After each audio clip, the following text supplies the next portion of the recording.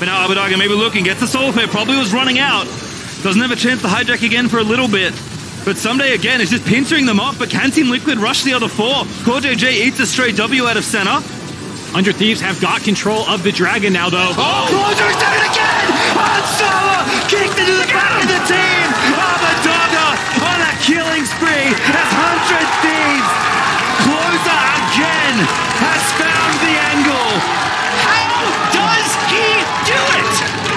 single time, closer Lee Sin comes up clutch. Abbedagge gets the quadra kill.